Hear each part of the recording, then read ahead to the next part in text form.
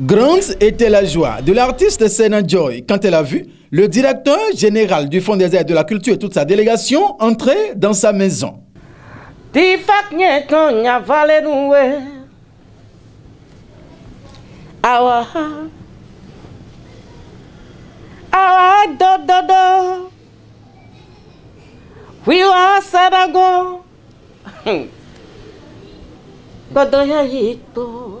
Il faut aller s'abreuver dès qu'il est un coton. Et c'est à cette tradition que Gilbert Deoumalé a sacrifié ce vendredi de octobre 2020 au domicile de l'artiste musicienne Sena Joy.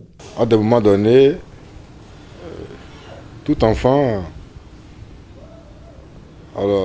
doit éprouver le besoin d'aller se ressourcer, d'aller prendre des conseils, d'aller se confier à une personne beaucoup plus âgée et recueillir des conseils afin de savoir comment faire. Mieux, Sana Joy fait partie donc des icônes de la musique béninoise. Je crois que c'est une chance que nous l'ayons encore à côté. Et ça, il faut remercier l'Éternel pour ça.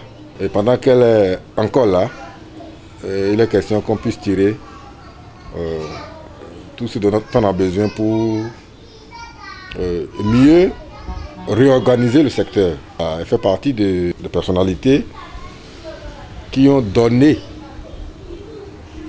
un temps de leur vie pour le secteur, pour la chose culturelle au Bénin. Donc c'est une sorte de reconnaissance que de venir ici aujourd'hui. Une initiative du DGFAC qui est très appréciée et mérite d'être soutenue. C'est chose encourageante parce qu'il a compris, et c'est parce qu'il est artiste, que l'artiste n'a pas seulement besoin de l'argent, il a besoin d'avoir le monde autour de lui. Donc c'est cela que nous allons beaucoup plus soutenir. Et Mémé Joy se dit très honoré. Qui suis Si vous avez fait le déplacement pour venir voir Sena Joy dans sa cachette, c'est un honneur pour moi.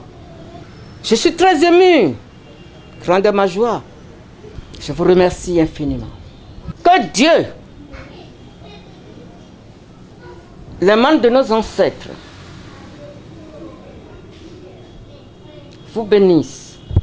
Voilà un geste qui témoigne de la bonne foi et de la détermination du DGFAC Gilbert Déoumalin qui sans discrimination aucune œuvre inlassablement pour l'épanouissement des vrais acteurs culturels béninois et ceci sous le regard bienveillant de son ministre de tutelle Jean-Michel Hervé Abimbola.